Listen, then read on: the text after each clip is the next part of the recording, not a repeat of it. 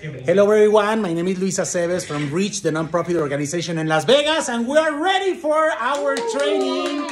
We are so glad that we have all the team of uh, Compassion and Choices. We have been working really good through a lot of years on behalf of our Hispanic community, and right now we are ready to get our training, and uh, this is gonna be amazing. Thank you so much, Compassion and Choices, helping us to educate our Hispanic community in Nevada. Bye bye.